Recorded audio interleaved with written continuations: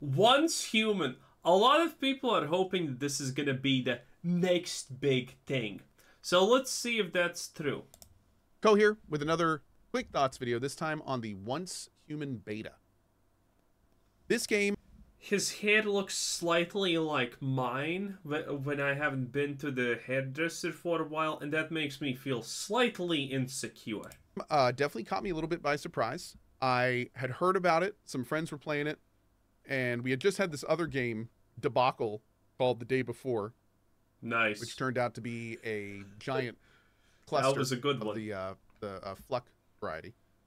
Nice. And this game was like shortly behind it, and and you know it was kind of like overshadowed by that controversy because people were like oh cool like another game however turns out once human is kind of awesome so yeah. it's currently in beta and it's an amalgamation of a lot of different things that i like kind of in one package.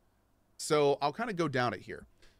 It is a lot of people are saying that this game looks and kind of is good but how good it's really hard to judge because it seems like a small bit of a hype train is happening uh, behind this game now. And well when things like that happen things tend to get out of control and it's really really hard to judge what's actually real or not. So it is what it is. A looter shooter survival multiplayer game. And what does that mean? Um, it means that you basically kind of like have this almost MMO style progression map. You know, level start at level one, you move to level five area, then level ten, that kind of thing. Okay. Uh, it is a third-person shooter at heart, so you're doing. Ma- well, actually, not okay. That's typically not how really these games go. The last significant game that went that way is well, Ark Survival, pretty much, and that's it. Other than that, I can't even uh, I can't even think of a single game that uh, did did a concept like this. You know, Rust doesn't count. A lot of games don't count if there's specific levels tied to things. So this already is well not a unique concept. For sure, it has been done right, but it definitely is something refreshing at the bare minimum. Melee, you're you're using machine guns, shotguns, pistols, that kind of stuff there is a survival building component, and you also have food and water. So you are you are picking a little area of the map. You're seeing everyone else's little areas and their houses. You're building a house. You're making crafting stations. You're storing your items there. Um, you're building a motorcycle and using that if you want to. And on mm. top of that, nice. Not only is it is the is it kind of full multiplayer with you know war bands and there's actually PvP if you want to do that, but it's opt in. Oh, look at that. That looks like a Wendigo or something. But right? there's also this kind of like control influenced kind of Well, not exactly, but it doesn't look bad, that's for sure. Meta progression story thing. It's very weird. Um, but what it what it what it has spawned is some very cool locations, some very cool okay. enemies. The enemy design okay. is, is very fun. The world lore is kind of like this dystopian interesting, weird, again, very kind of controlly um, situation, very sci-fi, and uh, kind of. At first look, honestly, this game looks like it's an Apex Legends type-ish kind of clone. Oh, but then you understand, wait a minute, this is more like Rust. No, wait, this is more like Ark Survival. No, wait, this is more like this. It seems like a mishmash amalgamation of a lot of things, which is not necessarily bad, by the way. If you take the best parts of a lot of games, well, chances are you have the best part of a lot of games. Now, the only question is, does it all stick together? And in this case, from what people are saying, yeah, it seems like kinda, yeah. Admittedly, you know, one thing, though, that is questionable in games like this, personally, at least for me, is, well, you, you see this right here, right? Accuracy plus 12. What does that mean? I have no idea. Stability plus 5. What is stability? I have absolutely no idea. Well, probably stability is how much wiggle that happens, and accuracy is, you know, how how how accurate you shoot. But, you know, still kind of stupid, not gonna lie. But all in all, I don't think this is a bad system. The crafting seems, uh, um, you know, as good as it can get, honestly.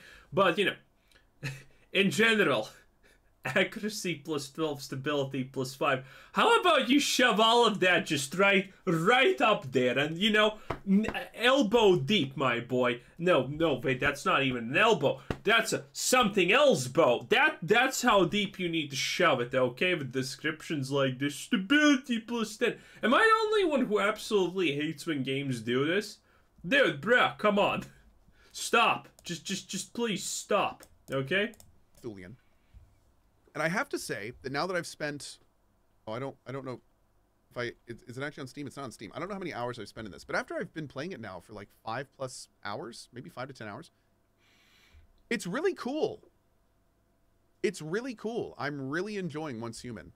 Um, there's always like new areas to. I wonder if this gets old though. I wonder if this gets old really fast. For example, the pistol mods that you can see here are also kind of uh, this one is 6 damage. Uh, the, this one is 8 damage.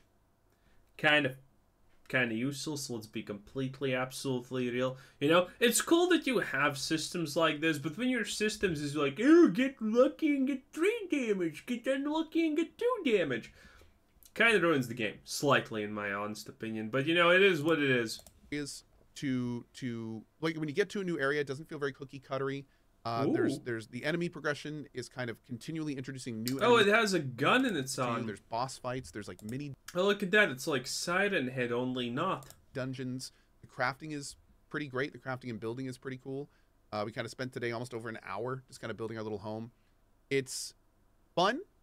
It's going to be free with a count with a. well, I mean that wasn't that bad, except the part where you know it kind of glitched through the ball there because the animation it is what it is. Cosmetic shop, and apparently they're just doing cosmetics.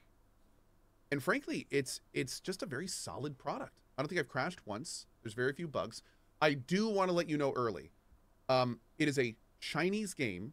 Chinese? By, that is funded by NetEase. Oh boy. Bruh, you better not say anything bad about China while playing this, otherwise you're gonna get a ban, okay? It is what it is.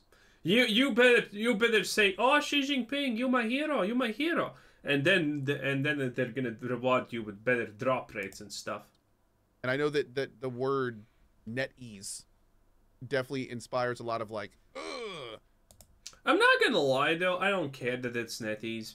Admittedly, he is completely right. NetEase have literally ruined absolutely almost anything and everything they had touched. They have an absolutely fabulous history of making things from bad to honestly worse. So there you kind of go. But a, an idea like this, I honestly kind of like it. You drop a bunch of, uh, you, you know, you have a map.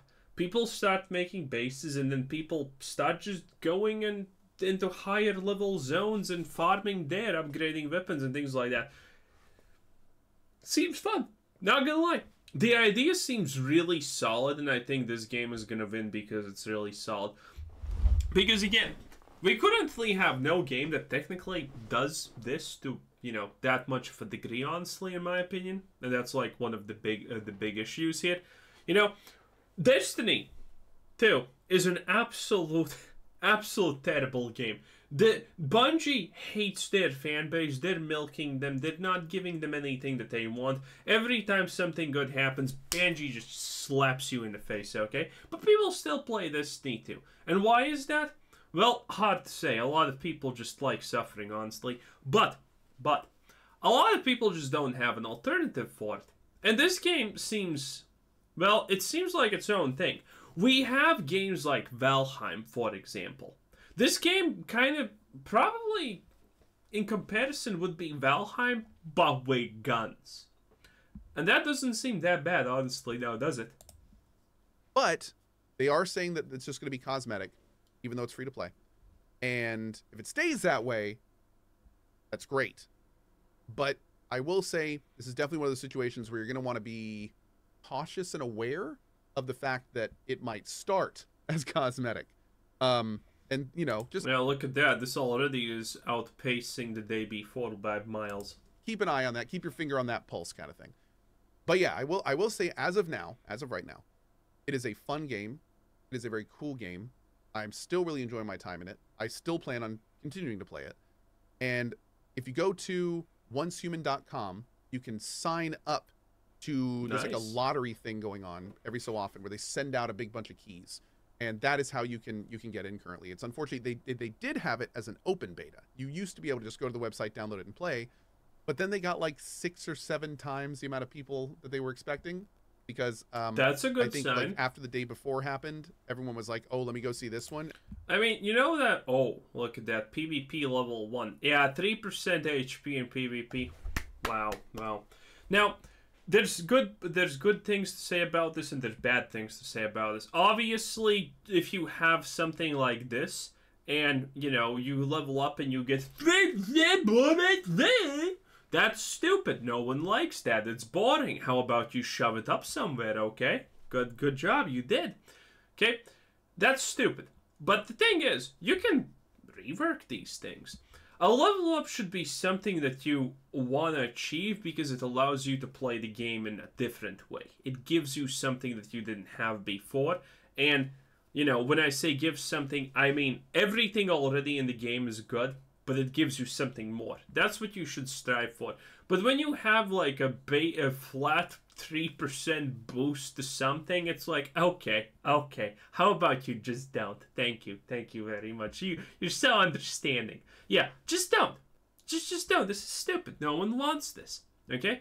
Now, the good part is they can slowly rework these things to actually make sense, to be cooler, and blah, blah, blah. That is the good part. And, you know, the bad part is that they currently seem boring. That there's a lot of things that are boring. But again, you can rework all of these systems in pretty easy ways to actually be interesting. And that's big.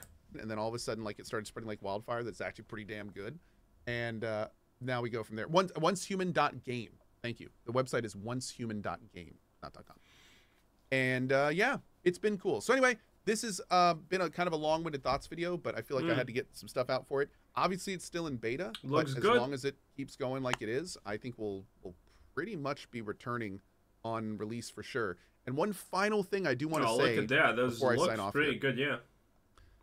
the writing and the dialogue is janky. Don't let that turn you off. I did not expect writing or dialogue in the first place. Okay, so there's a story to this. I mean, cool, I guess, but I'm not gonna lie. Did you expect a story for this? I did not expect a story for this. to the actual pretty great gameplay. Um, when I first started this game, it there, there's like this kind of story-ish heavy part, and um, I definitely was kind of like a little bit during it. Uh, apparently, the the dialogue and, and voice acting is is relatively on the beta slash alpha side. So hopefully, we'll, Yeah, I'm not gonna lie. I'm surprised there is a dialogue option. Even that's that's kind of insane. Not gonna lie.